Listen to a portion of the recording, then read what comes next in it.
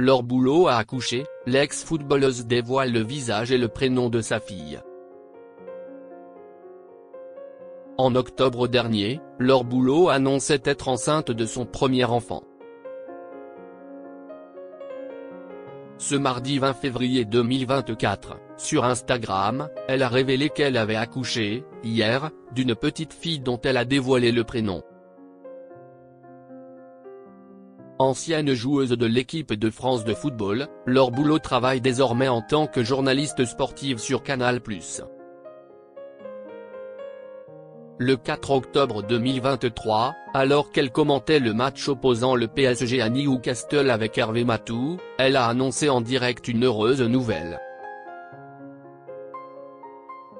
Je vais avoir du mal à le cacher un peu plus longtemps, j'attends un petit bébé qui commence à pointer le bout de son nez, beaucoup même. Je lui fais vivre des émotions assez incroyables et j'ai l'impression qu'il aime bien la Ligue des Champions, a-t-elle révélé. Elle a ensuite ajouté que son premier enfant serait une fille. Par la suite, la sportive a dévoilé à plusieurs reprises son baby bump, que ce soit à l'antenne ou sur les réseaux sociaux. Elle a aussi épaté ses fans en réalisant plusieurs jongles malgré son ventre proéminent. La transmission, ça commence maintenant, s'est-elle exclamée. Leur boulot est maman d'une petite Clara. Depuis ce lundi 19 février, Laure Boulot connaît les joies de la maternité.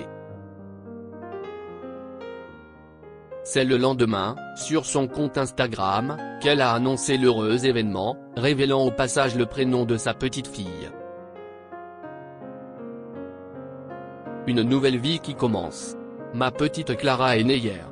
Je me repose un peu et je vous retrouve vite, a-t-elle écrit. Celle qui partage sa vie avec Bruno Cherou, un ancien footballeur, a dévoilé plusieurs clichés pris à la maternité. La jeune maman y apparaît heureuse avec son nouveau-né dans les bras. Une tendre publication qui a engendré de nombreux messages de félicitations de la part de ses fans, mais aussi de personnalités comme Estelle Denis et Capucine Anave.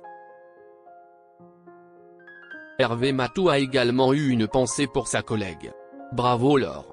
Longue et belle vie à Clara, on pense à toi et à vous ce soir sur le plateau du canal Champion Club, a-t-il commenté.